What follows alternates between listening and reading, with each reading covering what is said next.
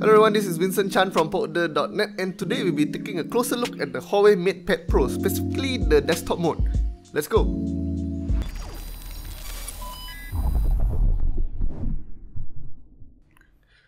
So let's start off by saying that EMUI desktop mode isn't exactly a new feature, it debuted back with EMUI 8 on the Huawei Mate 10 series back in 2017. But while EMUI desktop on the smartphone has a clear advantage over its main competition in that time, whereby it didn't require a specific dock to work and all you needed was a screen or monitor for you to connect the device to use it. However, today, on the Huawei MatePad Pro, it just exists as a separate mode on the tablet itself, which is definitely a good idea as it helps you take better advantage of the much larger display on the Huawei MatePad Pro. Whereas if a smartphone tried to pull it off on its own display, it would probably be too cramped for you to do any work on.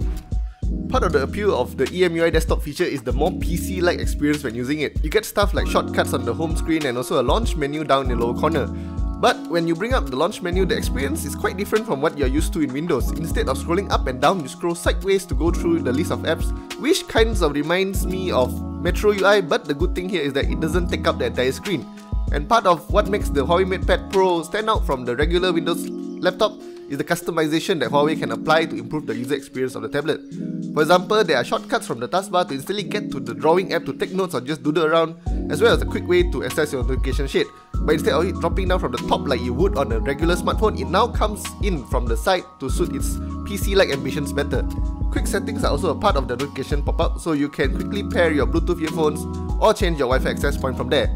And last but not least, there are the regular Android navigation buttons. The first impression I had when I tried using the Huawei MatePad Pro as a laptop was that it seemed like a balance between Chrome OS and Windows. One thing that immediately caught my attention was how much better multitasking was in EMUI desktop mode compared to regular Android UI, simply because you can open multiple apps, complete with window snapping for some split screen action. You can also use regular Android apps here, with certain Huawei's built-in apps offering some optimization to better take advantage of the screen space. And I did try to work in Microsoft Word for a little bit, and I do find the keyboard to be just tad too limited, as while Huawei did seem to try to make the keyboard a bit more tactile, the key travel is still quite short, and the keyboard is a touch too far forward for ergonomic typing experience, or at least one that we are accustomed to with laptops. But while considering that this is still at its core just a keyboard cover, I guess this is as good as it gets. Now another part of the PC experience is of course a mouse and I didn't have a Bluetooth mouse so I used the M Pencil extensively as my pointer and I must say the experience was pretty decent. In addition to Word, I also tried Microsoft Teams here and I must give it to Microsoft for making the mobile app so similar to the desktop version that I felt like I was using a laptop instead. Another thing to note is that I didn't feel as much of a need for the missing GMS when working on the Huawei MatePad Pro in EMUI desktop mode. Checking emails was pretty straightforward as the built-in app pulls emails from Gmail without any issue. And I also found that instead of relying on apps, I used the browser more as I would on a laptop. And while I was worried that I could not enjoy some lo-fi while working, navigating to YouTube via the browser works perfectly. And with the quad speakers along the side of the Huawei MatePad Pro, I had an excellent experience at that too.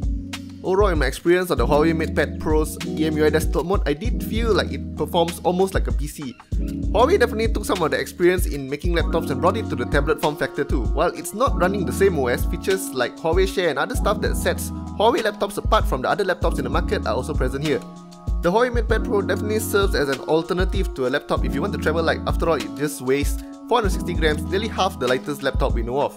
The reliance on GMS in EMUI desktop mode is also lessened which might make the Huawei MatePad Pro the game changer that Huawei needs, at least in the Android tablet space. And that's it for our overview of the Huawei MatePad Pro's EMUI desktop mode. Let us know what you think of the EMUI desktop and whether you have used it on your Huawei devices before this. I hope you guys enjoyed this video and if you did, don't forget to subscribe to our channel, follow us on Instagram and like our Facebook page. Until the next video, goodbye.